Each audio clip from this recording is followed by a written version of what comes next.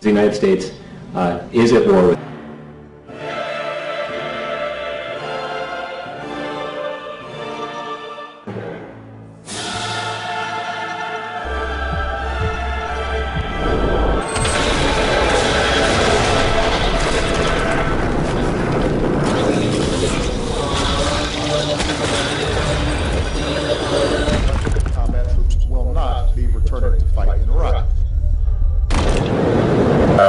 They're, they're beyond just a terrorist group.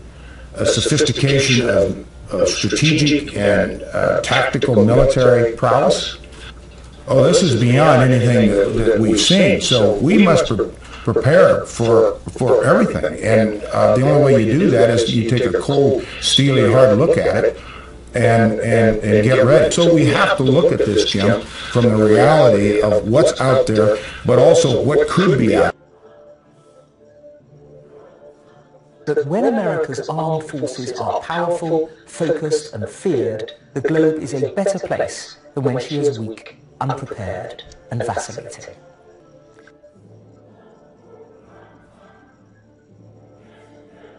All this talk about fear, it's real.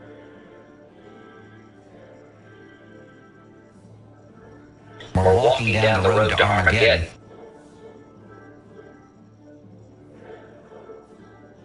This is not Somalia. This is not Yemen. This is a turning point in the war terror. Our strategy will fail yet again. This president needs to rise to the occasion before we all get killed back here.